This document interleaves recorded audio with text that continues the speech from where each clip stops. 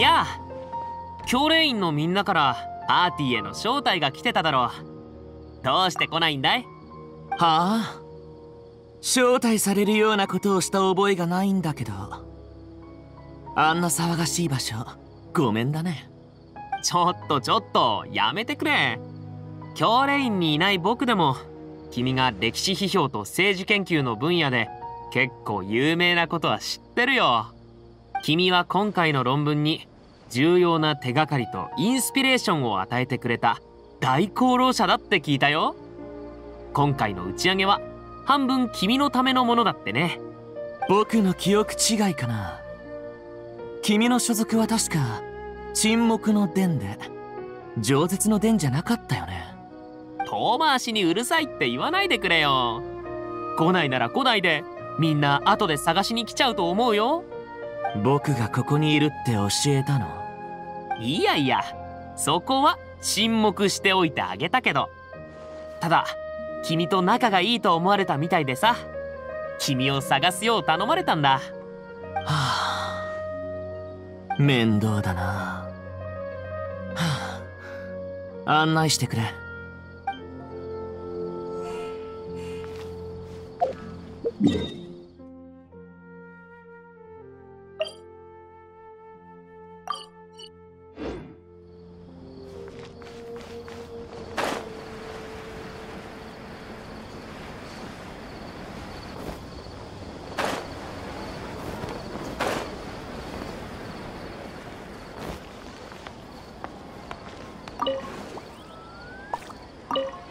な笑ってる。星空とはまた違った素晴らしさね。あたしよ。課題に追われてたあの子は論文を提出したばかりで休んでるところなの。今年のパレードを見逃しちゃったのは残念だけどその根性と決意は褒めてあげないとね。だからこの光景を写真に残してあの子のデスクに置いておこうと思って。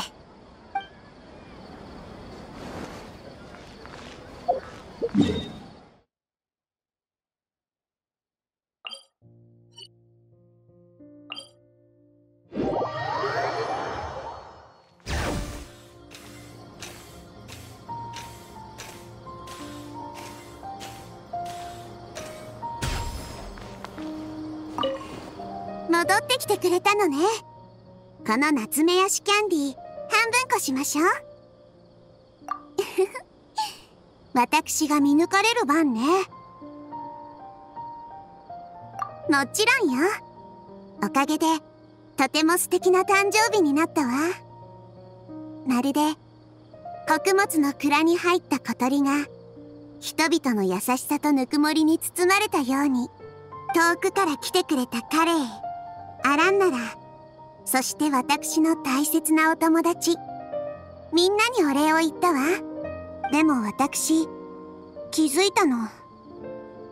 やっぱりまだ何か隠しているわよね。大丈夫だからそう構えないで。あなたが秘密にしたいのならその判断を信じるわ。だってあなたは私の花の騎士だもの。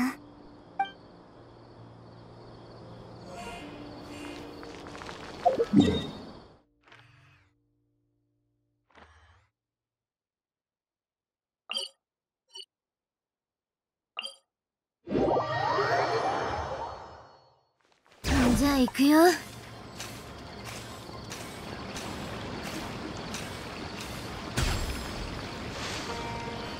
そこのぷくぷくグリーンちょっと聞きたいことがあるんだけど。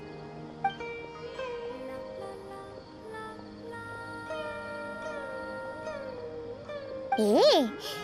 私たち彼は甘露化会を守るだけで精一杯なのに。あなたたちはどうやってあんなに大きなウリンを100年も守ってきたの？小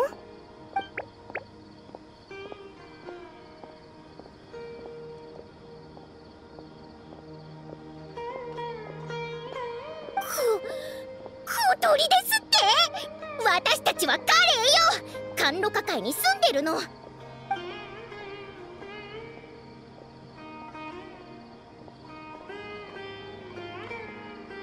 バナ何？なんだか微妙に話題がそらされた気がするわ。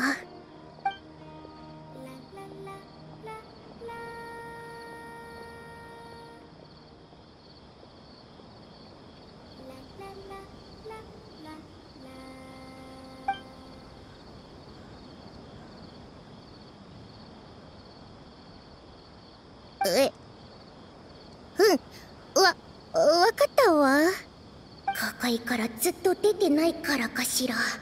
何を言っているのかさっぱりわからないわ。でもなんだかすご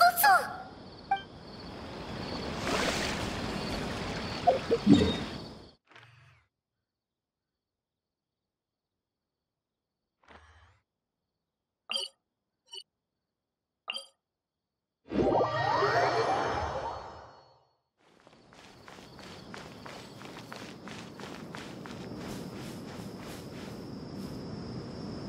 旅人さん。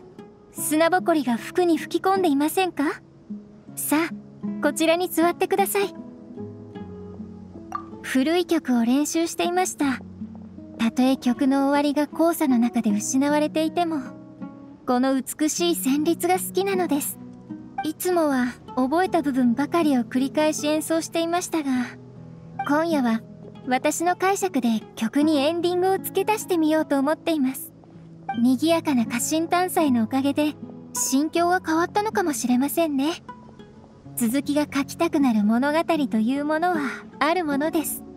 たとえぼやけてしまってもいつまでも大切な記憶というものは存在します。